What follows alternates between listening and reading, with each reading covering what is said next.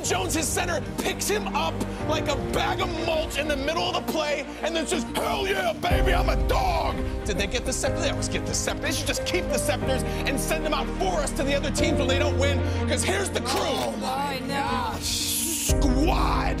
Squad. I mean, we didn't just play together. We we're friends, teammates. Uh, I mean, I've known them now for seven years. And this ball's on the ground and recovered by I think Weaver has pounced on it. Sit telling each other how we see each other doing our thing each week, playing, and tell each other to keep going. Has time, fires, and it's intercepted. Byard. Fired at the 40. Byard at the 50.